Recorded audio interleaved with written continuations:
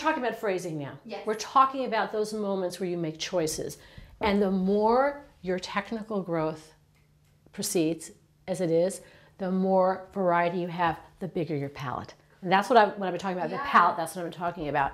Watching older dreams. Even less. Say for me older. Older. Yeah, keep the tongue very pliable and soft. Uh, right there, please, again. Watching